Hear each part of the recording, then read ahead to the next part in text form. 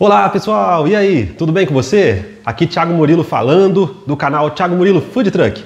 Sou especialista em trailers, food trucks, barracas, quiosques, comida de rua de modo geral. Seja bem-vindo ao meu canal.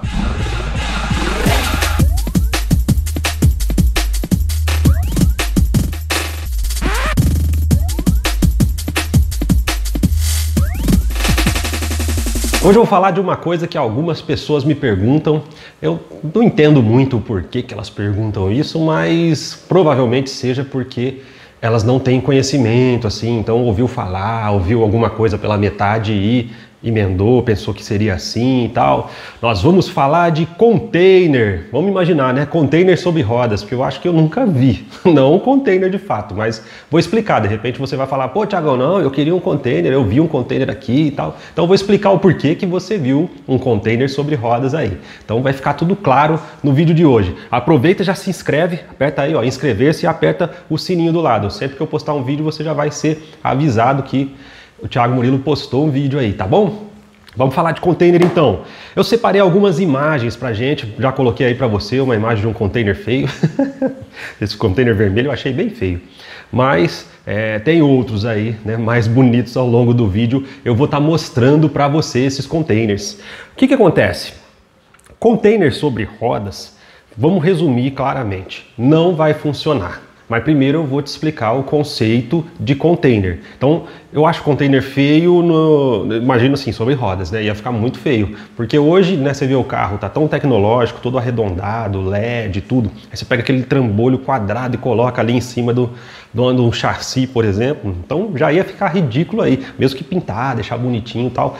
Fica meio esquisito, vamos dizer proporcionalmente, porque container estava dando uma estudada, tem de 6 metros e de 12 metros, resumo da, da, da, coisa. Porque essa medida é padrão, tem uns encaixes no caminhão, quando você olha assim, ó, tem os pinos para o container chegar ali, encaixar e não sair fora, entendeu? Então o caminhão pode viajar, eles mesmos se encaixam um no outro também quando está lá em cima do navio. Então o container foi feito para outra coisa, porém houve né, um problema aí mundial, acredito, com o que fazer, porque esses containers ficam velhos.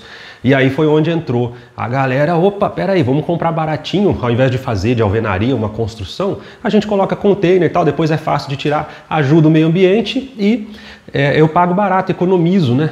Fica bonito, porque de fato o container é forte. Aí pelo fato dele ser forte, ele é muito pesado, mas pesado mesmo. Deixa eu ver se eu separei aqui o peso do, de 6 metros, para você ter uma ideia, que é o pequenininho, e o peso de um de 12 metros, que é o grandão, aquele que pega o caminhão todo, tá? Então, você vai ter uma base aqui agora, deixa eu ver se eu tenho aqui, eu vi o comprimento, é, peso, peso, tara, tara, olha aqui que da hora, peguei uma tabela na internet aí para entender um pouco desse negócio, falei, por que, que a gente não vê? Então, eu vou te explicar. Um trailer, para você ter uma ideia, o trailer de um eixo, o Detran permite até 750 quilos, peso bruto total, PBT. Então, 750 quilos um eixo. Passou disso daí, são dois eixos, é obrigatório pôr dois eixos e freio. Você tem que pôr o freio. Eu costumo trabalhar com freio a disco, porque é mais peças novas, sabe? É mais não é higiênico, mas assim, é melhor, entendeu? O resultado final. Então, quando você trabalha com campana, com essas coisas aí que reaproveita, ah, não, não, gosto, entendeu? Então eu prefiro o freio a disco, é tudo novinho, bonitinho ali, pinça tal, você vai nas lojas, você encontra fácil e resolve o problema. Então, prefiro trabalhar com freio a disco. E aí o que acontece? Passou de 750 quilos, é esses trailers que você vê aí de dois eixos, né? Então, dois eixos de freio. É o, o, o, freio é para ajudar para não empurrar o veículo da frente. Então, se o trailer pesar aí, por exemplo, 1.500 quilos, que é uma média, tá? Pode ter documentos que vêm com 1.800, pode ter documentos que vêm com 1.200, 1.300. Então, uma média 1.500 quilos. Isso documentalmente falando, tá? Seu trailer pode aguentar um pouquinho a mais, um pouquinho a menos, tal e resolve, fica tudo certo. Está dentro da lei. Então você imagina, o seu trailer com peso bruto total, o que, que, que, que quer dizer o peso bruto total?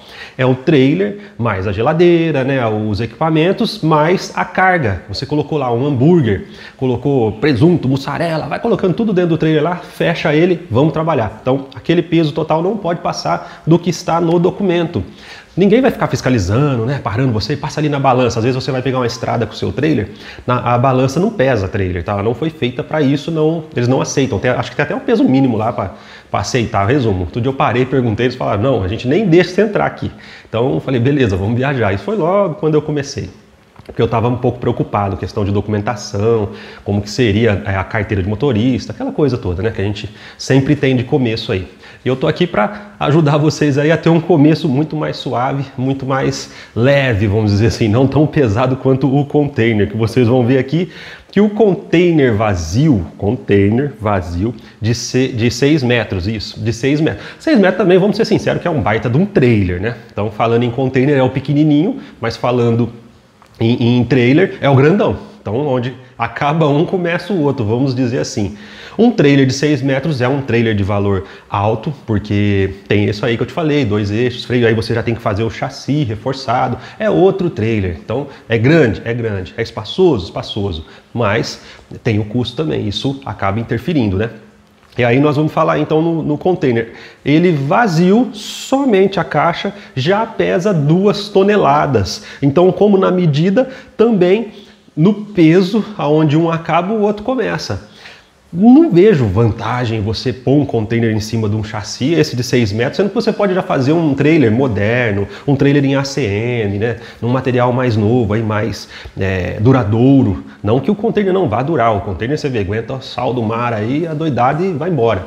Mas, não, vamos dizer assim, não foi para isso que ele veio, não é para isso que você deve usar o container. Se você for usar o container fixo num terreno, em algum lugar, eu acho que vai ficar legal. Eu acho que fica bacana, você pinta ele, decora, pô, deixa bem bacana. É legal e é forte, entendeu? Então, para você, né, uma pessoa perfurar um container, entrar e, e resumo, né, assaltar, roubar, sei lá, é, durante a noite, né, quando estiver fechado, é mais difícil, realmente. O container é bem forte. Não sei nas travas como que é, porque de fato eu trabalhar com container nunca trabalhei justamente por causa desse peso. Imagina, você tem que ter um terreno muito grande, assim, uma coisa de outro mundo, vamos dizer. Mas é bacana, né? Tem que ter um negócio que pega lá e tal.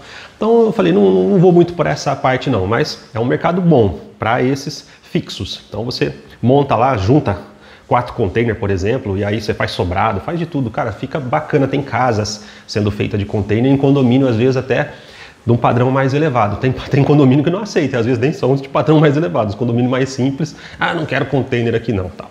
Mas aí para moradia também sairia bastante do meu canal. Falando aqui para você, 6 metros, 2 toneladas, e aí você vai ficar é doido, né? Se for o de, o de 12 metros, um baita, um, seria um baita de um trailer, vamos dizer assim. Eu, particularmente, eu, eu, vi um cara uma vez vendendo um trailer que tinha, não sei nem quanto, mas 10 metros para mais. Mas resumo, é doido.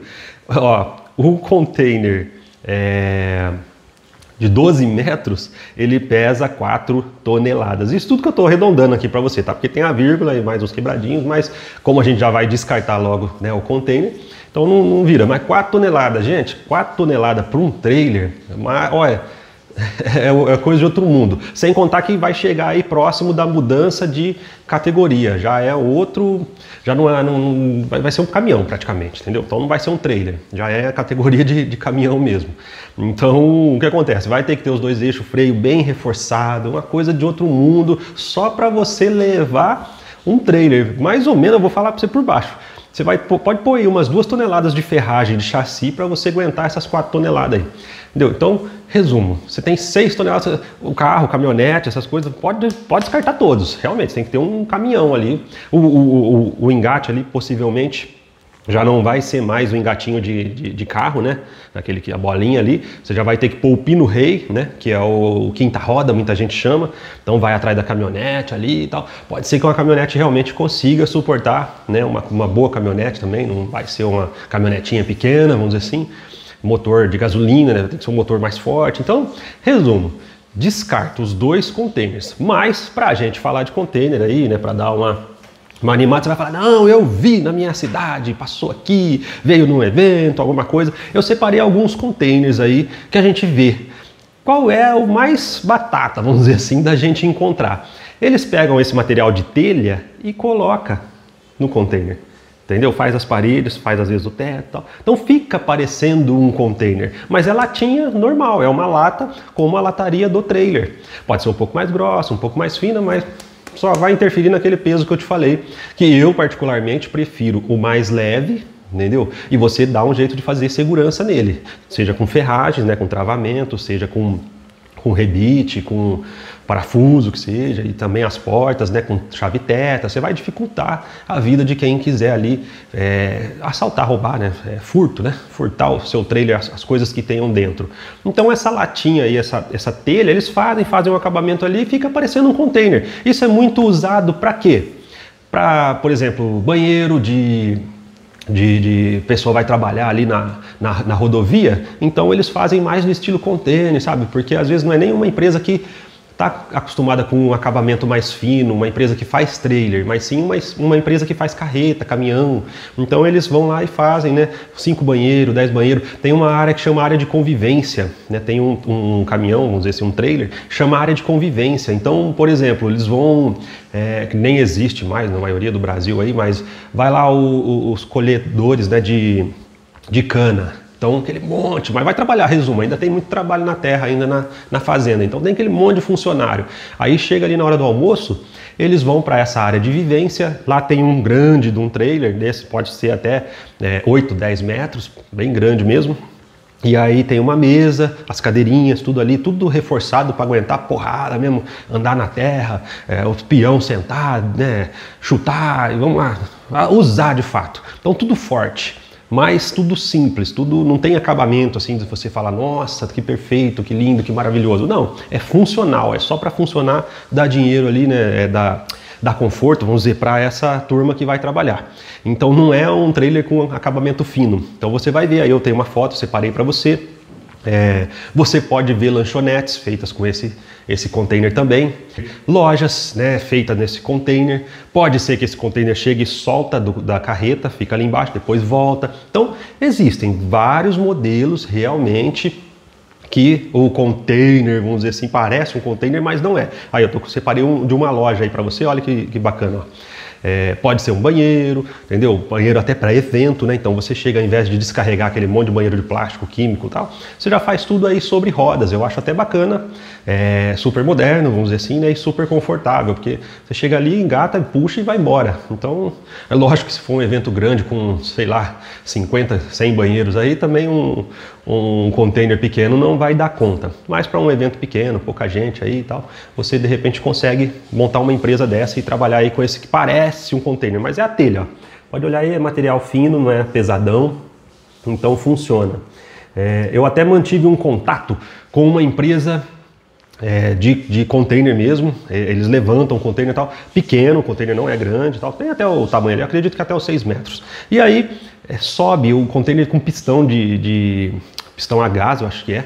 Ele sobe, aí o caminhão entra embaixo, ele desce, sobe os pistãozinhos, guarda e vai embora em cima do caminhão. Bacana, bacana, mas é um conceito um pouco mais caro, né, para quem está pensando em investir num trailer, no food truck aí. Então, se a ideia, ah, eu vou comprar é, container porque o container é barato, esse daí com pistão a gás e toda a tecnologia foge desse, dessa ideia, né, desse assunto. Agora, se a sua ideia é impressionar, chegar, todo mundo parar o que está fazendo e ficar olhando você, olha o que, que é aquilo que está chegando ali e tal. Isso normalmente quem faz é, são bancos, são é, as grandes empresas aí de alimentos, né? E outros grandes. Então, eles, eles para eles, é, meio milhão de reais, por exemplo, eles investirem nisso aí para fazer propaganda lá, marketing, é micharia. Eles gastam mesmo, eles fazem. Já para o trabalhador, para a pessoa que está no dia a dia ali ralando, né? Como eu e você, não vamos investir meio milhão só para fazer bonito. A gente quer, na verdade, é fazer gostoso e não bonito, né? A gente quer que atrair o cliente pelo pela barriga, pelo sabor, e não pela aparência, assim, de, de ah, como aquele cara é astronômico. Tem gente que quer, sim, tem caminhões aí lindos, maravilhosos, rodando por aí. A gente vê sendo usado e vendido usado, né, a 200 mil reais. Então, uma van, por exemplo. Então, é, resumo, assunto para outro dia. Mas de container, o que eu tinha para falar, basicamente era isso. Então, era o peso, né, e o tamanho principal coisa que você tem que focar é isso. O tamanho, claro, às vezes vai te ajudar. Nossa, um trailer de 12 metros eu faria tudo o que eu preciso. Bacana, faz mesmo. Mas faça com outro material, não com material de container aí.